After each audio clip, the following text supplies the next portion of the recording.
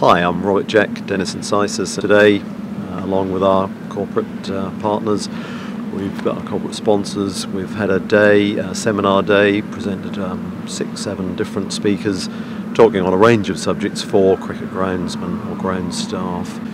So today, um, the day was really um, conceived by Sean Williams, who's the head groundsman here, and he approached us and said, you know, could we put a day on? We came and met with Sean and the guys from Gloucester um, Cricket Groundsmen Association, arranged the day, been absolutely blown away. Um, we've had over 250, I think probably over 260 grounds uh, staff here today, uh, which is hugely gratifying. It's an opportunity for them to obviously, A, or for us to meet them, for them to meet us, to meet the uh, trade sponsors, but also to, you know, to, to just network together, to chat to one another um, informally, uh, listen to these presentations together, but then discuss those things informally over a cup of tea, over lunch, or whatever. My name's Arthur Jupp. I'm the chairman of Lechlade Cricket Club. Um, I found today both informative and quite amusing. Actually, I thought the uh, I thought Barry was hilarious, um, but he brought he used humour to bring into sharp focus the kind of problems that Nigel faces on a day-to-day basis. It wasn't a day for chairman, but I'm really glad I came. I now have a far deeper insight into something that, if I'm honest, I knew very little about. So I'm Nigel Pearce, uh, groundsman at Lechlade Cricket Club. Uh, for me, it was great to catch up with uh, a number of fellow groundsmen who I already knew and also new groundsmen. Um, it was also uh, really interesting listening to Chris, uh, having the opportunity to go out and uh, look at the, the square here at Bristol. Um, and I'm pleased that Arthur's learned a lot more. He's got my shopping list of equipment that I would like for next season, um, and so look forward to coming to the next one. Come, I come here today because probably a good time of year to take a couple of days off. Is that I know a lot of the lads in the trade, so I've come up with a couple of work colleagues from from um, Sherborne School and Millfield School, which are our neighbour neighbouring big school. I mean, Millfield School is probably one of the biggest schools in the country, sports school. But we all got this sort of network working with one another and, interested to see what's going on. Also, I've done a little bit of work here with Sean on the ECB one day games when he asked for the extra staff to come in. So I'm seeing it on a different. Normally, I see it on a when it's 20,000 people in there in a couple of day when there's nobody here as such. To find a marquee on the middle of your pitch, you think, what's going on? But I understand why they're doing it and the reasons for doing it. Uh, I've come down, come brought me uh, a couple of assistants down today. Uh, it's always good to a bit of networking and seeing what's new on the market. I think SISIS do a great job with all their machines, always on sort of cutting edge of what's new and stuff like that. Hi, I'm Sean Rose, head here at Bristol. Uh, alongside me is Simon, head groundsman from Taunton, and Carl, head groundsman from Ageas Bowl, Hampshire. Um, this is all new for me. It's an amazing event. Um, never expected this many people to turn up on the ground. Um, it's good from our Groundsman Association point of view that we've got quite a few Gloucester um, cricket clubs represented here, so it's good for them, and we can the guys are networking with them. So that's we find that a really good, useful tool, and we can move out from here. And it's great to have these guys along as well because I think that's helped in bring a number of people along to this sort of, of event because you know the, you know the standout people in the job are here representing the, the, the sport. Yeah, definitely. I couldn't agree more with that. Really, it's, it's just nice to see so many people around. I mean, I've caught up with people that I knew when I was 18 and became a groundsman at Somerset for the first time, and I've not seen them since I took over as head ground. So it's just been great to catch up with people that you know, and also it's just interesting to hear from the speakers and look at the ground and it's all, you're always trying to glean information out of people to, to use at your own ground. So it's just great to, to be around and soak up information really. Yeah for me this is my first Dennis SISIS day and uh, when I came in to see so many guys sitting down there on the table around the chairs and listen to the guys. I think it's very important all these guys speak together. You know we all have the same issues same problems be it from volunteer level to our level. So uh, just to stand in the same room and chat to the guys about their problems and what their our problems are and how we all sort of got to pick each other's brains really.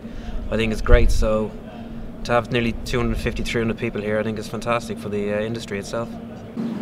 Uh, my name's Barry Glynn. I'm the ex-head groundsman at East Molesey Cricket Club in Surrey. I've been involved now probably four or five years with these Dennis SISIS days.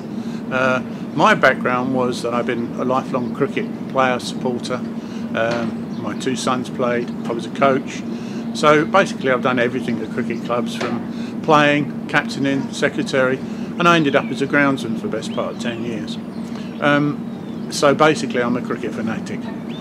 This game of cricket is far more complicated than I ever thought because I thought that being a groundsman was going to be easy, and it isn't. The best thing about these days is that it is run by groundsmen for groundsmen. And I've been to other seminars where this has not been the case. Yes, we've got sponsors here, and they gratefully they do sponsor and they help us put on these things because it, it does cost a lot of money. But they don't push their products down your throat. They will talk to you. They're here all day, and it's a thoroughly good day. Today we had 250 people here. I went to the first one at Uxbridge six years ago, and we had 80 just the fact that it's grown this big, and in actual fact they could have got even more people if they could have accommodated them, shows you what a great day it is and how much people appreciate it.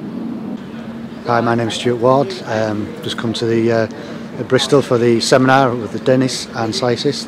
Uh, I've listened to a couple of speakers, professional groundsmen on the cricket side, uh, volunteer groundsmen, and uh, found it extremely useful. Uh, all the information that has been put about from lower levels all the way to the top levels, and uh, some real good speakers. Really good day. Enjoyed it. like to come back again. Hi, my name's Chris Wood. I'm the pitches consultant for the England and Wales Cricket Board, and I'm here today with this sponsored Dennis SISIS seminar, and it's been a, a fantastic day. Uh, one of the highest attendances I've ever encountered, uh, over 250 people, and it's been an absolute pleasure to uh, conduct a presentation in front of them. These are all practicing grounds groundsmen around the country.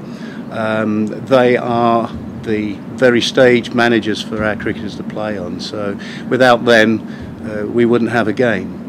And here at the county ground, it's given them a chance to come on to a county international ground with the head groundsman participate in. And we've also had four other county groundsmen as well to lend their expertise. So we've had question and answers, we've had speakers all day.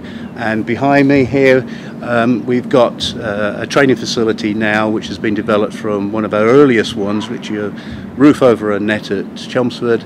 And we've gone very high tech at uh, National Cricket Performance Centre at Loughborough and Surrey have got one at the Oval, and this is a lesser version, but it's great to see that attempts are being made to actually uh, bring cricket training facilities in slightly out of the season, and that's what groundsmen are for, for producing that kind of facility. So these kind of seminars are absolutely ideal for us to gather, um, give moral boosting tips, uh, and advice to these groundsmen as we're on the cusp of a long, hard summer to come in. And we're all looking forward to the sun shining again and cricketers participating on striped up green fields of summer. And that's part of our English heritage, and long may it last. Well, I think well, undoubtedly, don't yeah. I think that, and the people that have been here today will go and say the same thing. So I think really it can only get bigger and bigger. And I think this yeah. is obviously the, the go-to event for cricket seminars now, and I think people know that now, and I think that's brilliant. Definitely, yeah. I mean, the more people that can get to these things and socialise and, and talk about the industry, then the better it is for the industry, really. Um, obviously, you're up in Durham last year and Bristol this year. Hopefully, you can get into the southeast, into the Midlands, and just spread the word a bit more, really. Yeah, I host the Hampshire Cricket Board guys now a couple of times so far since I've been in the job, and it's only a small group, and they enjoy coming just for the day as well to have a look around. So, to get this kind of number of people to do the similar sort of thing, I think is uh, fantastic.